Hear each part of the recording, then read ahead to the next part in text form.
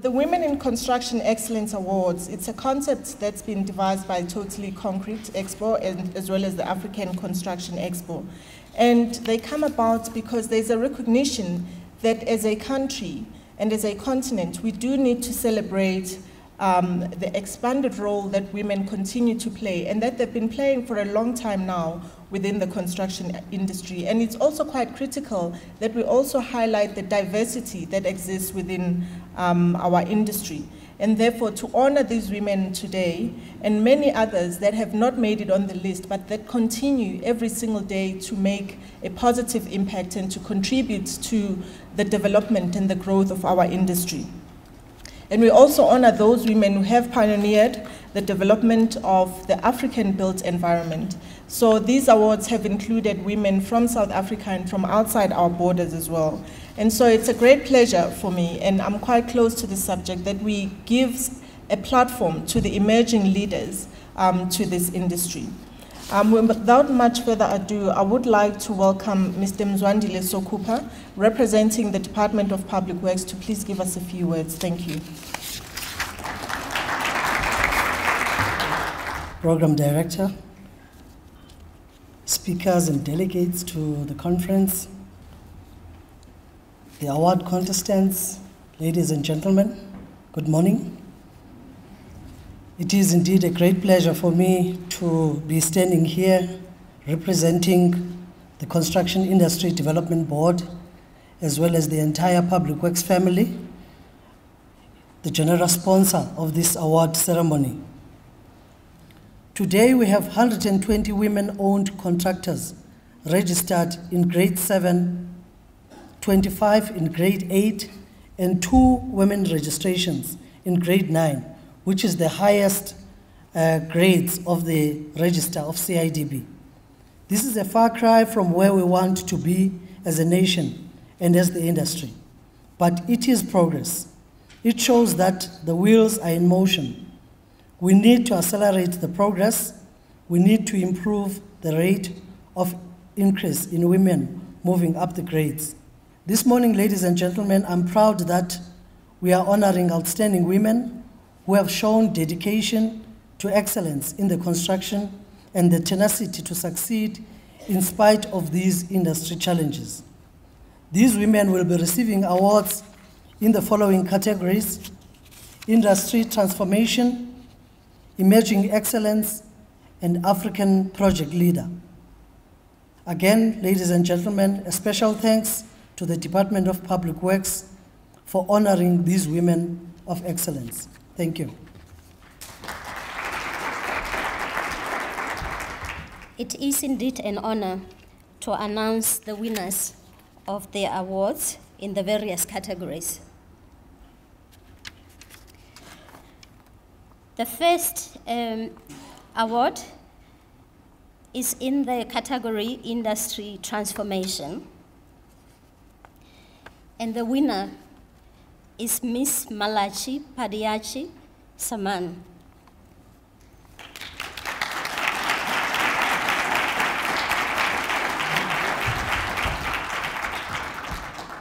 Miss, Miss Malani Padayachee Saman was the first female civil engineer to graduate from the University of Durban Westville. She is the founder and CEO of Malani, of Malani Padayachee, and Associates Pty Limited, with the company celebrating its 17th year of existence in July this year. Apart from heading the company, she is still very much involved with the technical side of engineering, which is her passion. Malani is passionate about empowering the youth and women in, in engineering. Apart from her passion for developing individuals, she pays meticulous attention to detail and is sensitive to individuals and their needs. She prides herself in mastering technical complexities with the utmost professionalism and always delivers superior service to her clients with naturally developed multitasking abilities. Malani's ethos has always been that it takes people to uplift people and this is evident in the work she performs every day. Thank you for the acknowledgement, and I am truly disappointed that I could not be present today with you. I would like to encourage other young females in the industry to go with your natural instinct. And if you have a yearning to one day create your own organization, be bold and never look back. It is possible to achieve a successful career and a balanced family life. Congratulations, Malani. The next award is in the category of Emerging Excellence, and it goes to Miss Adele Lombard, who is the structural engineer at Gibbs uh, Consulting Engineers, South Africa.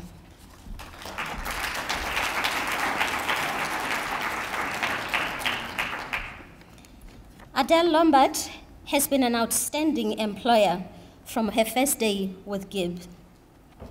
Even though she is only 27 years old, she has exceeded most expectations and has shown her professional excellence on many occasions. She is a professional under all circumstances and handles all situations with controlled calmness, regardless of the situation.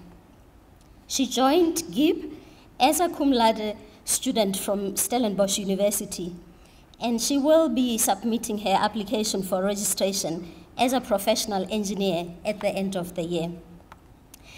She has already done more than is necessary to make the application, but in her eyes, she has not gained sufficient experience to suit her own high standards and will not be submitting her application for registration until she has satisfied until she is satisfied with those standards. Her training to date has been varied and comprehensive. She was the instrumental designer of the Sikupe Control Tower and critical buildings, EMS buildings at the University of the Free State, Talium Hotels, and the monorail project in Port Harcourt.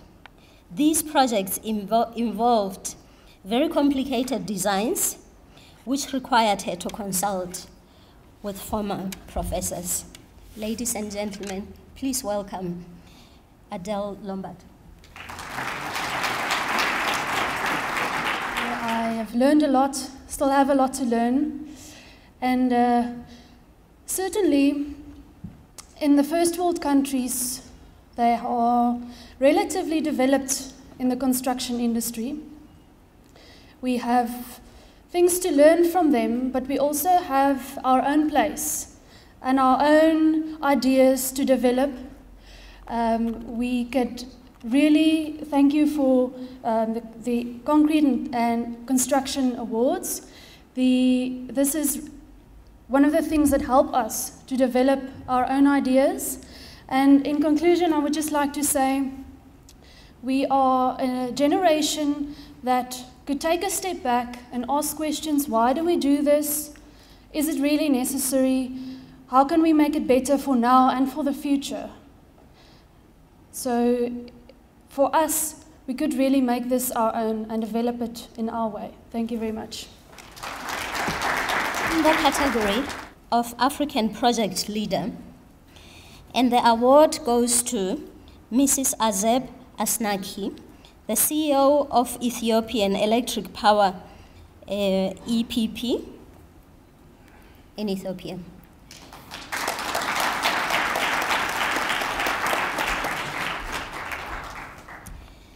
Mrs. Azeb has enormous experience in civil engineering construction she is currently working as CEO of Ethiopian Electric Power and project manager of Gibe 3 hydroelectric power project with the following features.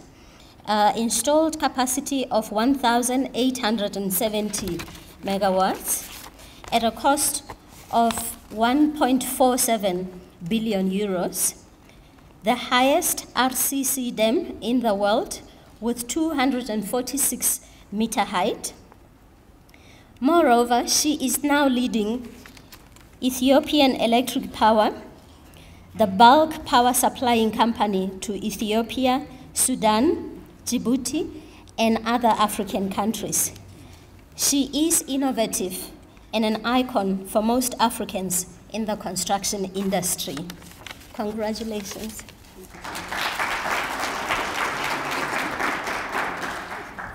I'm highly honored and deeply contented to receive this prestigious Women in Construction Award today. As you are aware, construction is thought to be a job of men.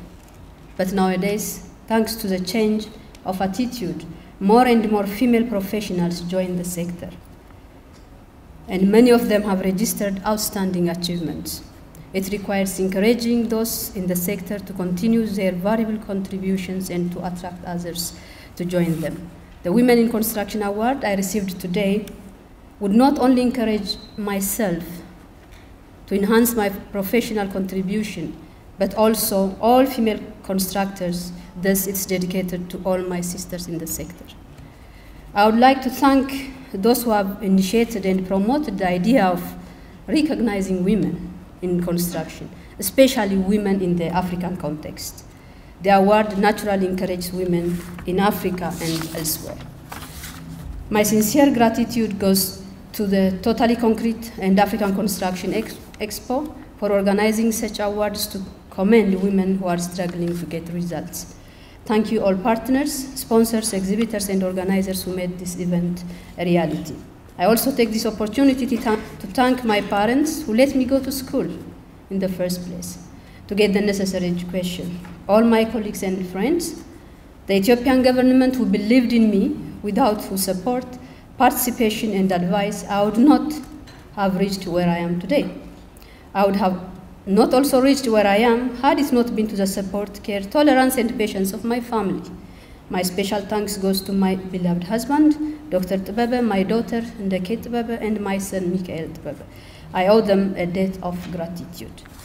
Last but not least, I would like to thank Ms. Stephanie Pillai and her team for all their support. I would also like to take this opportunity to welcome you all to invest in Ethiopia, where the infrastructure construction sector is booming we are committed to transform Ethiopia, who used to be cited as an example of famine. Ethiopia has now exhibited a double digit annual growth. Thank you very much, and God bless you all.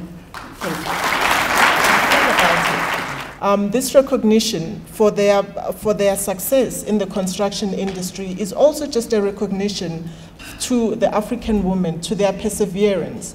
Because a lot of the time we don't actually understand, or rather we take for granted, that for any woman to work hard and to come up to be a successful person in their career and in their workplace, first of all, some of them, and in some African countries, they needed to have put up a fight to be educated in the first place. So, you know, particularly looking at what has happened in Nigeria, I really wish to wish all of you well, the women that have participated. But I also wish to ask all of you who are present here today and those who are not present, who are our colleagues, that we need to put as much as we can into the education of the girl child.